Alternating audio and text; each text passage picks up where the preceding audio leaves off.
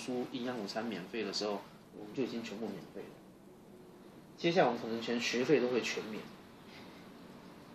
啊，发油跟沙拉油，再不用设贫穷线，排队来就发。哎，这本来是好事啊，可是里面的界限越来越模糊了，越来越模糊。以前是什么原因会做这种什么东西？怎么做？这个过程是怎么样内化成青少年活动？可到政治人物的手里，通通可以把这些事情变成模糊。反正只要很多人参加，很多人鼓掌，是你们喜欢的，他就变成一个好县长。然后我自己一直想，最后到傅昆萁要把庆轩交给他自己的庄脚的时候，我在那里大概抗争了八个多月。然后我的很多朋友都开始劝我说：“我说委屈了，哦，村民啊，你委屈了。”可是我没有看到花莲有有多大的其他的媒体。真的站在那个不管是公民或者文化的立场或古迹的立场，去产生什么样辩论，反而是台北的公共电视啊、民视啊节目一直下去拍，说在花莲产生这样的抗争行为。那最后到我离开的时候呢，我其实心里就有一个感触。你以为你做了很多好事，结果刚你拉水的时候，你叫大家拢来站起来，我在你身旁跟你一起奋斗的这件事情其实是不可靠的。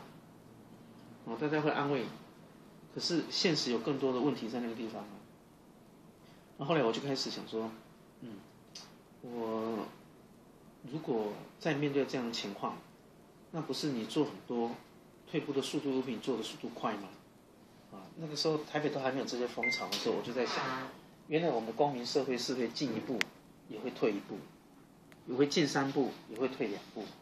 所以那个时候我就想想说，我我怎么样让我。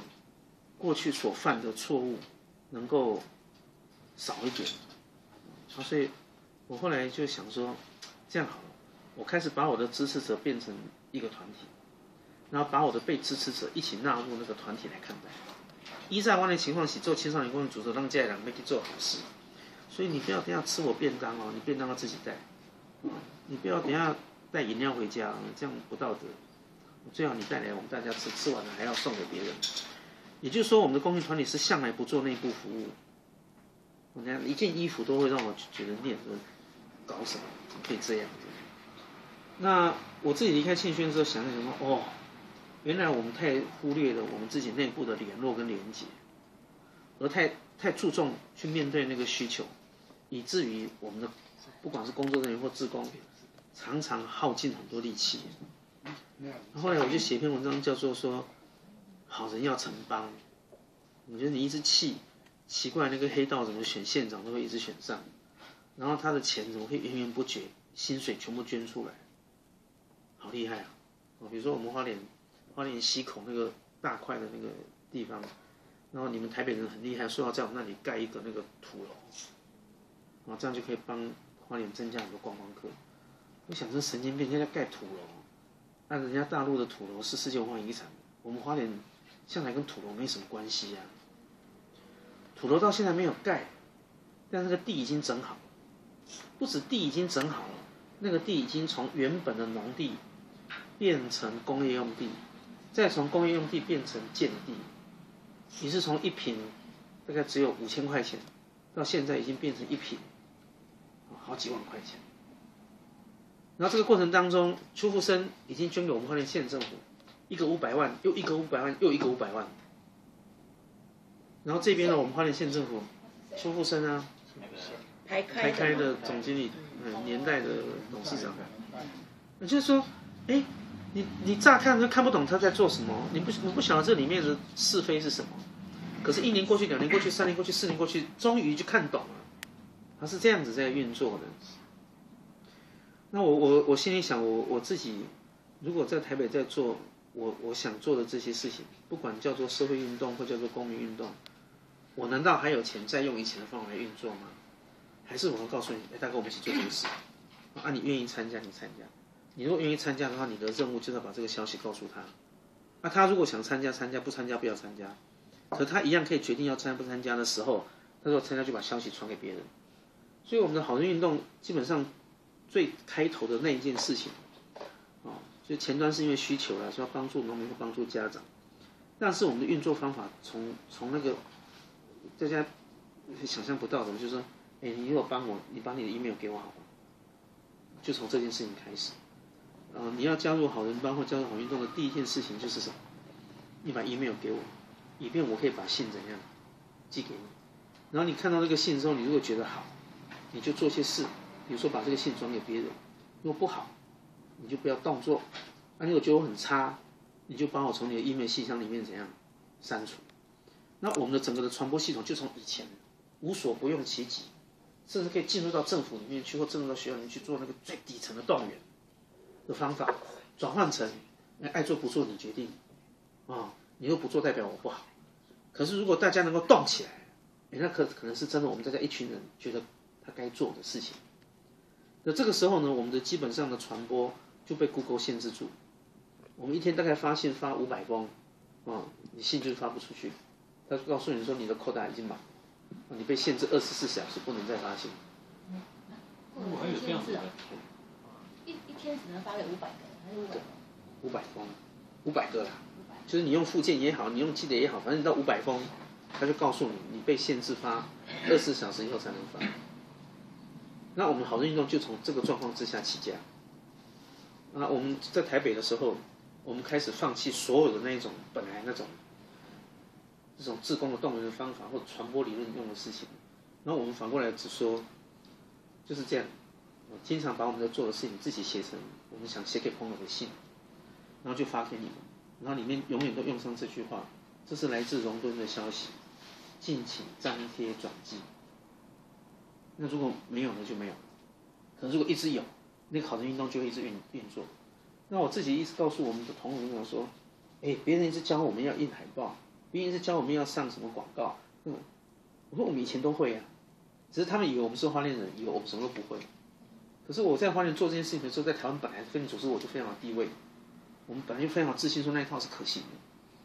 可到我们在台北做这些，不管是把我刚才讲说帮助我的人结合成吃饭部队的这件事情，我们就不带，我们到现在为止，我们一天一场，一天或者是一场记者会都不想开。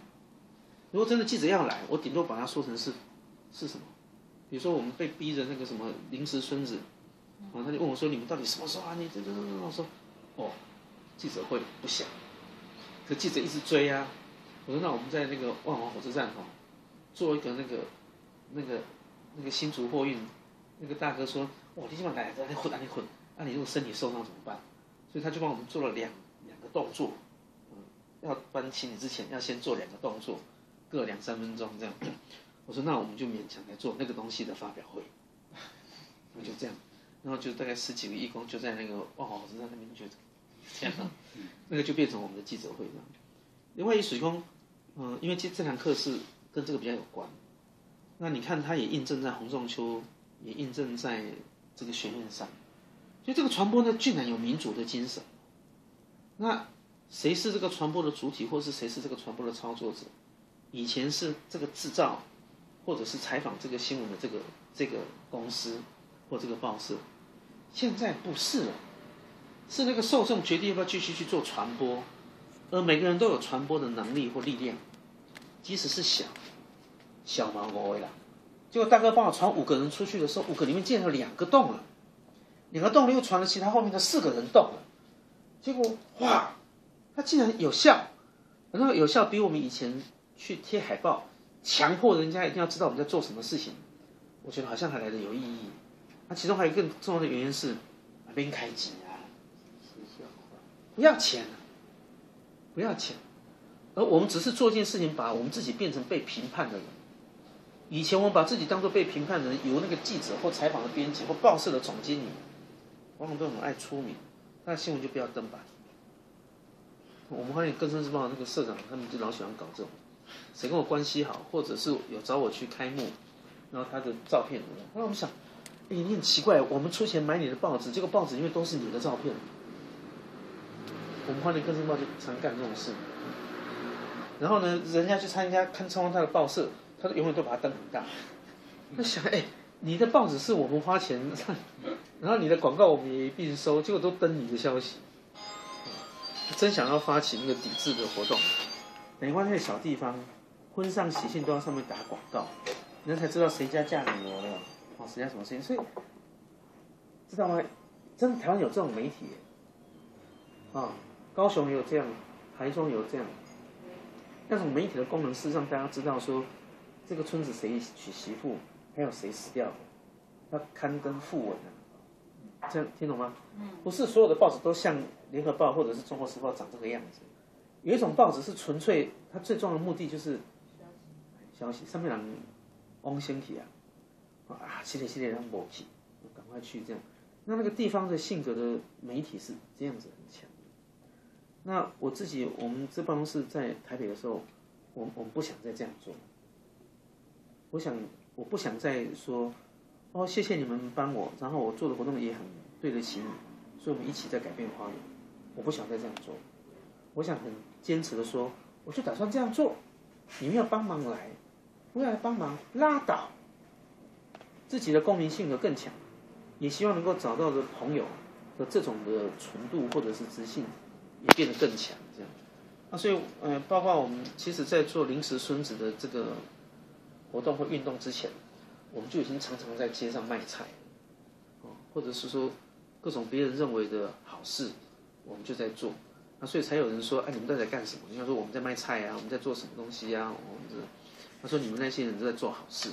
那他们就把我们办公室说，那你们呢就就就是好人好事。后来我们才因为这样，别人就叫我们被叫成好人帮，或者被叫成好人运动。然后我们一直跟人家讲说，这样子我的专利啊，比方这边姜都卖不出去。就前年姜太多崩盘，卖不掉。那我卖我卖姜，大哥帮我买姜。然后那个大哥就说，帮你没有问题啊，拿一百块。他说。我不是要你赞助我哈，我们现在好运动很清楚，叫做吃饭部队。你的任务就是要把那个崩盘的菜把它吃掉，所以你给我一百块，我就给你一百块钱的姜。他现在姜很贵，现在姜一斤大概六十块、七十块到九十块，所以大概如果现在拿一百块，就是一斤多一块，你就要偷笑。我现在姜很贵，崩盘的时候，大概三斤卖人家一百块，我们还要赚钱。有大哥拿一百块，那我给你三斤姜一袋。那个人说：“那姜一三斤怎么吃得完？” 我的任务就是把姜卖掉，按你的任务你自己决定啊。然后这个人买了三斤姜，他马上想说：“那姜怎么样放不会坏？”女生常跟他讲，要像照顾男朋友一样，常常用，不要把它关在冰箱里。啊，大家就笑得一塌糊涂这样。呃，其实跟他讲。姜那么多还不是简单？你就去敲隔壁家的门，再去敲隔壁家的门，他就把姜分掉。下次姜很贵的时候，你再去那边敲门，我给你借一点姜，太不好意思，我。你很便宜，是跟人家分享，对啊。哎，他们就听懂这样。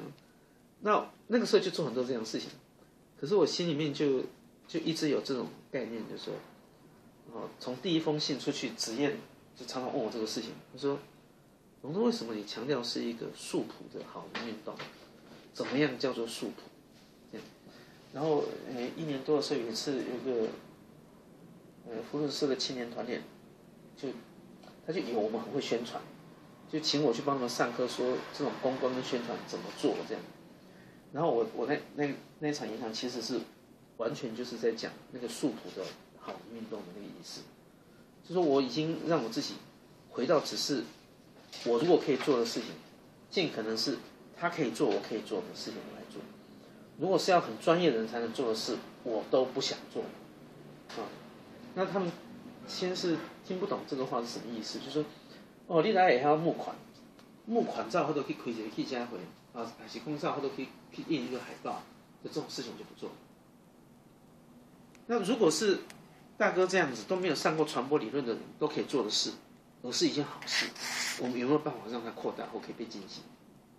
所以我那个时候，呃，不管是写的方法、拍的好，我们都不讲究，我就回到最素朴的字句，也许不通畅。哎哎哎，你做事情你自己写，可是我就不会写，没关系，你就写。那个临时孙子的那个月台故事也是这样，里面都不是什么高手，或者是说，嗯嗯，作家，哦，像我们我们现在很喜欢说拍一个微电影。做个小的短片，然后去做很高明的宣传，然后果然那个东西的点阅率很高。